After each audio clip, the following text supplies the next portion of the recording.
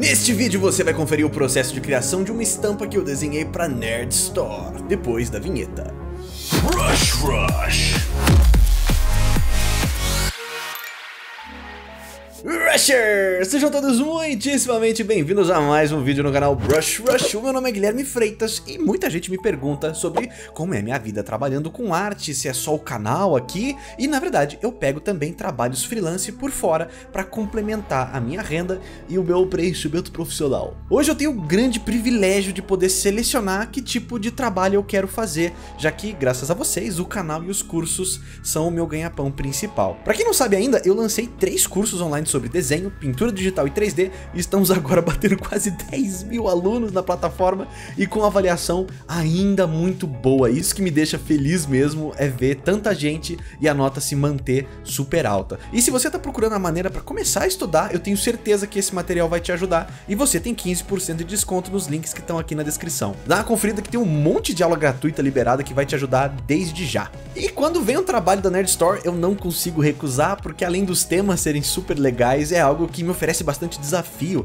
a ideia de produzir estampa, né? E eu fiquei super feliz de montar essa arte com a proposta de misturar aquela clássica cena romântica de Ghost, um filme que a princípio eu achei que era só uma lembrança super romântica assim, né? Mas quando você vê o filme é mó agitado mesmo. E eles estão ali naquele momento em que eles fazem um vasinho de argila, na verdade aqui com um dos casais mais amados e mais polêmicos também dos quadrinhos, o Coringa e a Arlequina, que foi um lançamento pro Dia dos Namorados e a camiseta já tá lançada e disponível também na Nerd Store. O link também vou deixar aqui na descrição. Galera, hoje eu queria expor a minha interpretação sobre algumas dúvidas extremamente recorrentes de algo que provavelmente é uma das maiores muralhas mentais que a galera levanta na frente do próprio progresso com seus trabalhos. É a relação que muitos aqui têm com o uso de referências.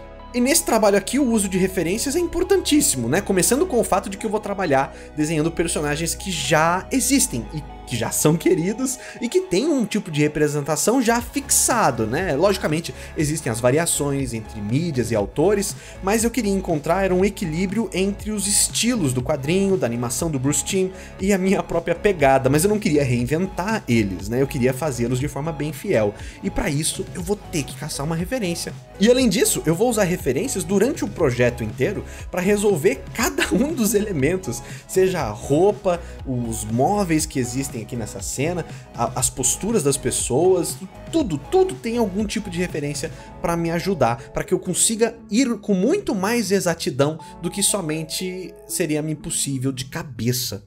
E acho que tá aí um primeiro passo sobre essa questão, e você vai ter que aceitar isso de uma hora ou outra, né? Que a sua memória não é tão boa quanto você pensa.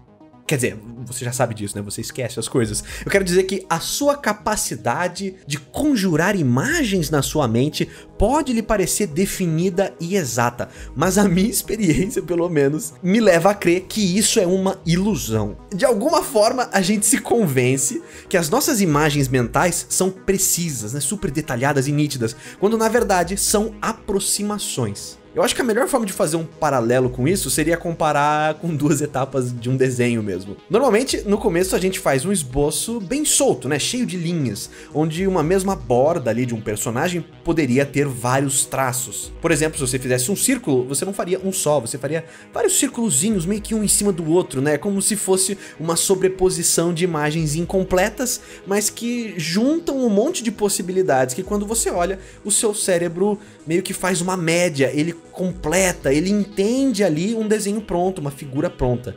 Mas quando você tenta de fato definir né, o que, que acontece, né? Você vai passar a caneta por cima e assim que você se compromete com uma das possibilidades, parece que algo se perdeu e ficou pior do que antes, não é? E eu acho que algo muito, muito parecido acontece com a nossa imaginação visual. Assim como um esboço, essas imagens na sua mente informam bastante. Elas dizem muito, mas elas não definem definem, elas só sugerem. E dá a aparência de ser algo muito mais específico do que é de fato. E talvez por isso que muita gente sente uma desconexão entre o que consegue pensar e o que consegue desenhar. Isso causa muita frustração para quem tá começando. Você aí mesmo que diz que consegue imaginar cenas incríveis, cores fantásticas, personagens complexos em poses dinâmicas, com detalhes riquíssimos, mas nada fica parecido quando você tenta pôr no papel de verdade. E eu fiz uma pesquisa no Twitter, e em duas horas, mais de 500 pessoas me responderam, e 83% delas disseram que sentem isso, de que a cabeça delas consegue ser muito mais criativa e visualmente competente do que a mão que desenha. E por que que isso acontece? Existe mesmo uma assincronia, uma desconexão entre a sua mente artisticamente capacitada e, e a sua mão desenhante toda mole? Talvez seja o seu corpo que não é capaz de acompanhar o seu intelecto? E a minha visão sobre isso é que, primeiro, a sua mente te engana. As suas imagens mentais não são nítidas e perfeitas, e se você parar para analisar elas de verdade, você vai perceber. E segundo, que toda arte é o resultado de uma construção. E construções ocorrem em etapas sucessivas, né? Uma depois da outra, e não numa carimbada só. E o problema é que cada um desses passos requer um nível de conhecimento e de experiência para dar certo, e especialmente ser feito num, numa certa velocidade. Desde o esboço até a pintura. E se você é um iniciante total, sem muito conhecimento ou experiência, sem métodos para construir as suas imagens, talvez o que te sobre seja só uma ilusão. A ilusão de que para se criar bastaria conseguir imaginar. E na minha percepção, a imaginação é solta e indefinida, mais como um guia de sensações e direções, assim, uma coisa amorfa que precisa ser espremida através de uma máquina, que é a técnica, para então sair dessa forma e tomar forma, algo que pode ser apreciado pelos outros, não só por você na sua cabeça. Mas ainda assim, sempre vai ser algo diferente, algo um tanto quanto deformado do que estava na sua mente. Imagine se a gente fosse aplicar essa lógica para qualquer outra coisa, que para se criar um novo delicioso prato bastaria imaginar o seu sabor na sua frente. que para desenvolver um programa bastaria imaginar o código perfeito na tela. Todo ato criativo envolve também a sua construção. E hoje, depois de juntando vários pedacinhos técnicos e metodológicos para construir a figura humana, criar uma composição, aplicar luz e sombra, implementar noções de design, incluir um storytelling, eu sinto uma união muito maior entre a minha vontade e a minha execução, muito maior do que antes. Hoje eu me sinto alinhado com a realidade que eu percebo na minha mente, mas ao invés de uma imagem grandiosa e detalhada, eu vejo no início pequenas sugestões quase como se fossem umas dicas, uns sussurros. E isso vai se definindo e crescendo e ganhando forma durante o processo. Hoje eu sinto que o meu trabalho só cresce e cresce, ao invés de murchar e murchar quanto mais você desenha. e eu acho que isso fica bem evidente em live, onde eu fico tentando encontrar soluções para algo que na verdade é uma intenção não muito precisa na minha cabeça. É uma busca ativa para achar algo que se encaixe naquela vontade bem simples. E para todo momento onde o meu conhecimento e a minha técnica ainda não abrange, e sabendo que as minhas imagens visuais são falsamente detalhadas, porque eu não consegui desenhar um sapato sem que ficasse muito tosco, eu tenho que ir atrás disso em algo além de mim.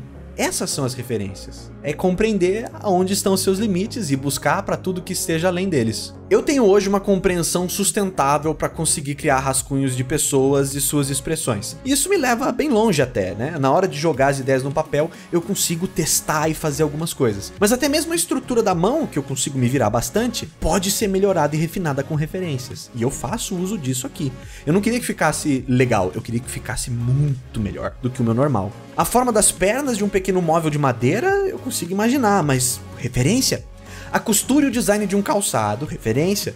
Os detalhes do contato próximo entre dois humanos, o filme tava aí para me servir com a melhor referência. Todas as estruturas de um paletó, referência, cara. O melhor que eu posso oferecer como artista não vem da folha branca e da minha memória somente, mas de um processo completo de utilizar tudo que tiver à minha disposição. E não há demérito nenhum nisso. Ai, Guilherme, mas eu vi um cara no Facebook que ele faz 87 soldados lutando com ogros mutantes em veículos militares com zumbis nazistas e uma orca alada alienígena sem nenhuma referência.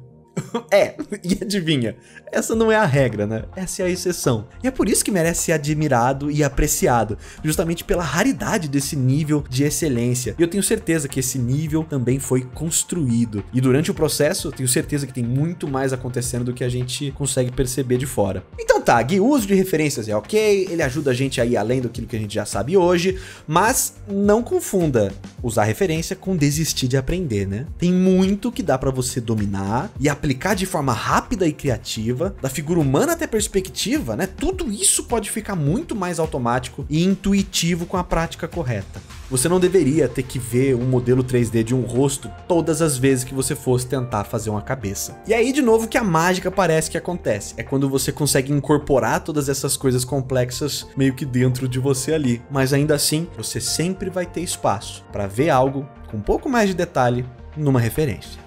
Então, se você está sofrendo com esse negócio de imaginar uma imagem incrível, o que eu consigo recomendar é que você continue estudando, acrescentando conhecimento e experiência em cada uma dessas etapas da construção de uma imagem, porque tudo isso vai te ajudar a fazer com que o que na verdade são sugestões da sua imaginação se tornarem ali coisas reais e praticáveis que você consegue passar para o papel. Não se preocupe, não tem uma profunda desconexão entre as suas mãos e a sua cabeça, é que na minha perspectiva, a gente se engana sobre o quão definida de verdade é a nossa imaginação. E eu fiquei com vontade de falar desse assunto aqui por causa de perguntas que foram feitas durante a live da baguncinha, que eu quero fazer mais, e também pelo vídeo do Thiago, do Cash Conversa, que fez um vídeo muito divertido do assunto, e ele traz a perspectiva também super interessante, num outro ângulo que eu tenho certeza que vai ajudar vocês pra caramba também, e eu vou deixar o link aqui na descrição para vocês continuarem ouvindo sobre esse assunto de uso de referência e esse tipo de coisa. E vamos ver como é que ficou esse desenho? E essa é a nossa arte final, galera! Muito obrigado a todos que assistiram até aqui. Não se esqueça do like e de se inscrever para não perder os próximos vídeos. E a gente se vê muito em breve no próximo vídeo, galera. Muito obrigado mesmo. Valeu e falou!